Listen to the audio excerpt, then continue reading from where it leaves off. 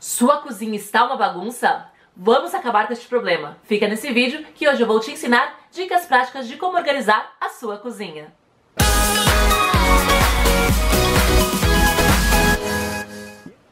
Olá, sou Kalinka Carvalho, consultora em organização, e esse é o canal da Lojas Mel. Hoje eu vou ensinar dicas de como deixar sua cozinha mais prática e funcional. Dicas de organização. Vamos lá? A cozinha é o coração da casa. É onde a gente prepara as refeições, toma aquele cafezinho, faz aquele delicioso bolo e também bate aquele papo. Mas se deixar, ela vira uma bagunça. Abre o armário, cai pote, abre a gaveta, aquela confusão. Onde está a tampa do meu pote? Essa é uma pergunta clássica, não é mesmo? Então anota aí algumas dicas para você realmente manter a sua cozinha sempre organizada. Ah, se você gosta desse tipo de vídeo, já se inscreve no canal e ativa o botão das notificações. Vamos à primeira dica sobre potes.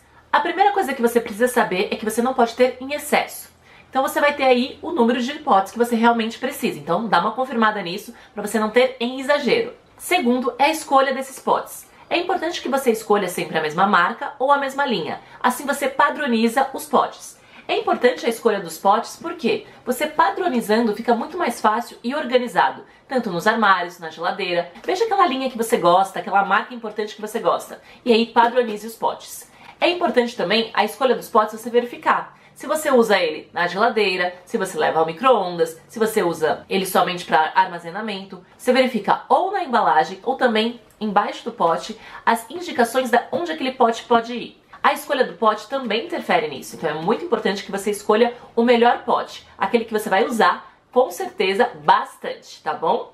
É importante que após os alimentos abertos, eles sejam colocados em potes herméticos. Para quê? Para que haja conservação do alimento. Então, para alimentos que você abre como arroz, feijão, café, açúcar, procure potes herméticos para poder manter a conservação temos muitas opções. Então você tem que escolher aquele que tem mais o seu estilo, que tem a ver com o tamanho da sua dispensa. É muito bom você observar, medir e lá verificar quais potes. Eu gosto muito de potes transparentes, pois você consegue ver o que tem dentro com muito mais facilidade. Existem diversas formas de você organizar os seus potes dentro do armário. Você pode organizar os potes com tampa, um acima do outro. Essa é uma das formas de organizar. Você também pode organizar se eles são da mesma linha, eles provavelmente vão se encaixar e você pode organizar as tampas abaixo desses potes para não perder ou também acima desses potes. Existem várias maneiras, não existe a correta, existe aquela que funciona para você. Então verifica aí qual é a forma mais correta de organizar os seus potes, dependendo da quantidade, do tipo. Ou se você prefere, você pode guardar os potes de um lado e as tampas na lateral. Hoje já existem organizadores de tampa que facilitam para que as tampas não fiquem perdidas dentro do armário. Inclusive, eu trouxe aqui a nossa dica número 2, que é o uso de aramados. Sim, eles são fundamentais para a organização dentro dos armários. E falando em tampas de pote, olha que legal esse organizador aramado aqui. Ele serve tanto para tampa de panela, como também para organizar as tampas plásticas. Então você consegue separar direitinho os modelos e fica muito mais fácil porque elas não ficam dançando. Fica mais fácil de pegar e também no armário fica tudo organizado. Os aramados, eles servem para trazer praticidade no dia a dia. Então é muito importante que você use esses aramados para ganhar espaço dentro do armário, para deixar tudo mais organizado e visível. Tudo que não é visto não é lembrado. Então sabe aquelas coisas que estão lá atrás no seu armário da cozinha? Provavelmente você não está usando, pois elas estão escondidas. Então use os aramados para trazer mais praticidade para o seu dia a dia. Um outro organizador que eu gosto muito, né, na dica dos aramados, é o organizador de copos. Aqui você consegue colocar os copos, levar na mesa se precisar, colocar no armário. Ele também ajuda na hora da limpeza. Na hora da limpeza do armário você consegue retirar e limpar o armário ali perfeitamente. Então, também é um organizador super funcional esse organizador aqui de copos. E um que eu sou fã, muito fã, são esses cestos prateleiras que servem para você encaixar no armário, sem furos, sem bagunça. Então é muito legal porque às vezes você não aproveita o espaço vertical, né? Você coloca as coisas ali embaixo no armário e fica um vão ali. Esses aramados são muito legais porque você encaixa na prateleira de cima e você cria, cria um novo espaço para você organizar. Serve para dispensa, para armários de louçaria, para copos, panelas, pratos, tudo. Eles são super legais porque eles encaixam no armário e você consegue colocar você realmente ganha espaço ali dentro do armário. Aqui eu trouxe duas versões, eu tenho essa versão aqui e eu tenho essa outra aqui, ó. Então você verifica aí na sua cozinha qual o modelo que encaixa melhor, que combina com a sua cozinha. Isso faz muita diferença na hora da organização. Veja organizadores que casam ali com a cor, com o modelo das, dos outros elementos da sua cozinha. Isso traz sempre uma harmonia visual e a sensação de organização. Ainda falando sobre a organização dentro dos armários, que geralmente vira aquela bagunça, é importante sempre fazer o primeiro processo da organização, que é retirar aquilo que você não usa, que já tem duplicado, que você tem vários do mesmo. Deixe somente aquilo que você usa. Essa dica é primordial para você ter uma cozinha super organizada. Na organização de dispensas, de categorias, onde às vezes fica tudo espalhado, eu gosto de usar muito cestos organizadores. Eu vou mostrar aqui alguns modelos para vocês.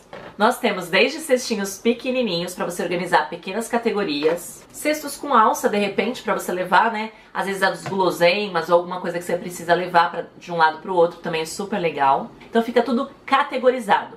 Os cestos, eles servem exatamente para isso, para categorizar elementos semelhantes às vezes um tipo de fruta, um tipo de categoria, itens que você usa para o preparo do doce, então fica tudo separadinho e organizado.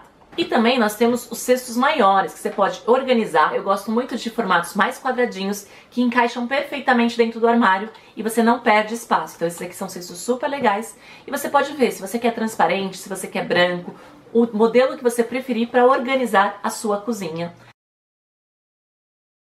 Falamos sobre a organização dos potes, falamos sobre a organização dos armários, o que é muito importante. Já temos aí metade da cozinha organizada. E o que falta? As famosas gavetas. Se você tem gaveta, provavelmente alguma delas está bagunçada. Geralmente, a segunda gaveta da cozinha é a mais bagunçada. É onde a gente coloca tudo. Então hoje eu vou dar algumas dicas para vocês. Eu trouxe aqui uma sugestão de organizador de gavetas que é muito legal porque ele tem tampa. Então, se você vai usar na gaveta, você não precisa da tampa. Você coloca lá e consegue organizar todos os talheres. Geralmente, a primeira gaveta da cozinha é onde a gente tem os talheres do dia a dia. A faca, a colher, a colherinha, é, o garfo, esses elementos. Você pode organizar no organizador desse dentro da gaveta. Mas, Kalinka, eu não tenho gaveta. Não tem problema. Você pode usar o mesmo organizador, porque ele tem uma tampa e aí você não enche de pó e pode colocar de repente numa prateleira. Então são dicas práticas que te ajudam no dia a dia. Ai, Kalink, eu tenho uma cozinha muito pequena. Não tem problema. Esses organizadores já resolvem muito e otimizam o espaço, deixando a cozinha até maior do que você imagina. Ainda falando de gavetas, eu trouxe também aqui caixinhas organizadoras. Eu amo caixinhas organizadoras e eu trouxe aqui um modelo para vocês. O que, que é legal? Se você não tem gaveta, você pode usar né, para organizar itens nela, assim com a tampinha. Mas se você tem a gaveta, você pode usar como um organizador na gaveta. Então ali você coloca, aqui eu coloquei, por exemplo, os panos de prato, que é outra gaveta que geralmente você tem. E nessa gaveta de itens de pano de prato, você pode colocar, de repente, suplá, jogos americanos, guardanapos, tudo na mesma gaveta, porque é uma categoria. Então você consegue colocar lá. Aqui eu fiz uma dobra de pano de prato e organizei dessa forma. Então dentro da gaveta ela fica super legal, organizadinho lá, item a item. Ele vira uma divisória de gavetas. Não tenho gaveta, Kalinka? Então vou colocar dentro da caixinha, na prateleira, tudo organizadinho. Já organizamos nossos potes, já organizamos nossas gavetas e armários.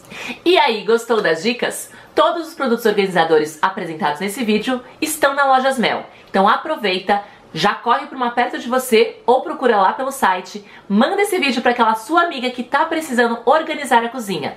E não se esquece de se inscrever no canal e ativar as notificações. Grande beijo, tchau, tchau. Te vejo nas lojas Mel.